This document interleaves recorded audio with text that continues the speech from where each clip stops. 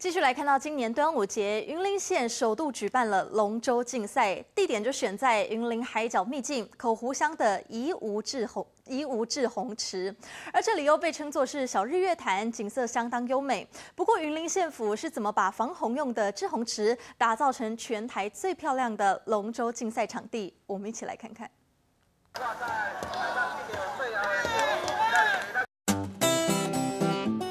在县长李进勇的击鼓带领下，县府一级主管队卖力地划着手中的桨。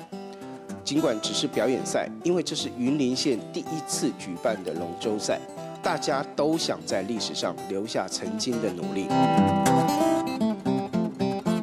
只是让人好奇的是，台湾的龙舟赛云林从来不曾举办，今年怎么会突然出现这么个环境优美、水环境平稳、安全的龙舟赛道？县长李进勇表示，民国一百零三年的时候，云林县政府把口湖地区废耕的一百公顷农地规划成为宜无滞洪池，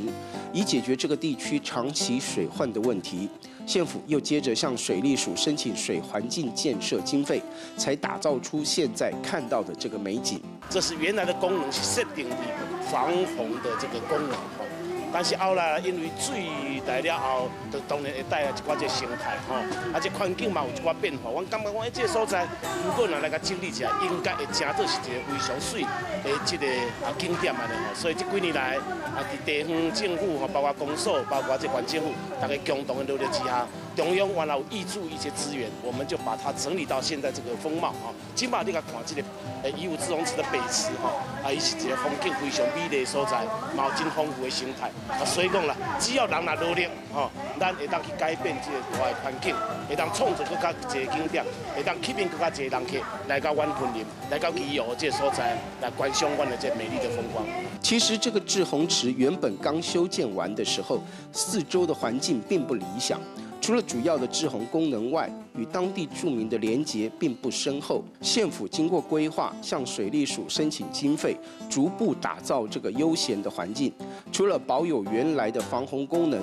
整个环湖步道的修建，加上具有特色的凉亭，四周的植栽，让这个地方突然成了云嘉南沿海的新亮点。很多人都慕名而来，美化绿化一定是非常重要的哈。那原来这所在都开始的时候，那是讲无经过经历哈，啊有一点荒烟蔓草哈，民众嘛，甲阮真侪批评甲指教了哈。总是啦，啊需要资源，啊所以讲地方政府嘛尽量落去经，啊中央政府争取一寡经费来补助哈。另外，还有一点就是讲哈，咱这个云嘉南国家滨海风景区管理处，他也注意到我们这一块了，啊所以他也积极的跟我们合作，啊因此呢能够带动改变这么一个环境。它已经是台湾西海岸最具发展潜力的一个所谓的这个人工湖也好，志洪池也好，将来是魅力无限。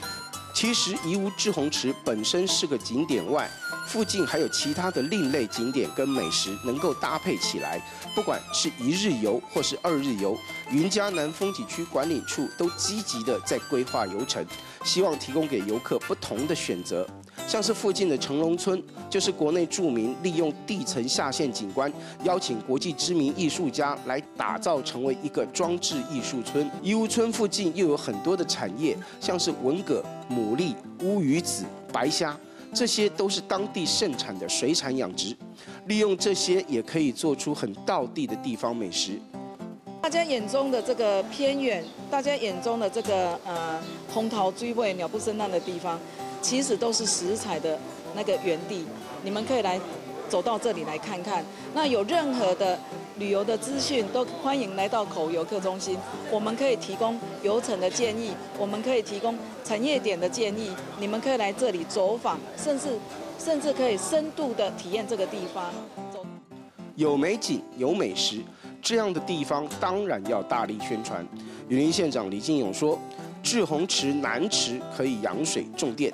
北池风景优美，适合开发观光休闲的水上活动。要让游客可以一路从北门水晶教堂到东石高跟鞋教堂，过一座桥就可以到台子港的渔人码头，让云江南沿海的景点连成一线，让西部沿海旅游成为新的风潮。